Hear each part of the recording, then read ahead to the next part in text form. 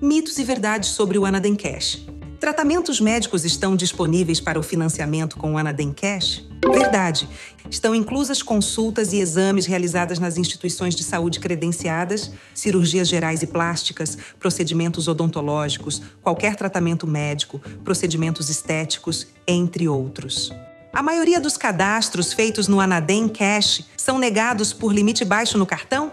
Mito! A aprovação depende de uma análise cuidadosa que combina várias informações, como o perfil de cada cliente, seu histórico de bom pagador, sua renda e mais. Com isso, é possível calcular qual é o valor mais adequado para a solicitação do seu paciente.